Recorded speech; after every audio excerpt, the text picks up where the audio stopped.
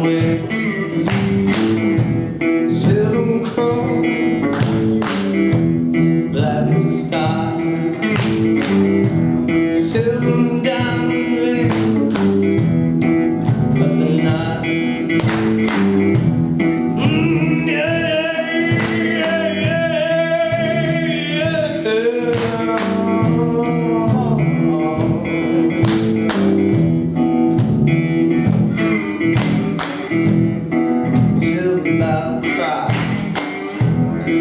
Different name Soon last year.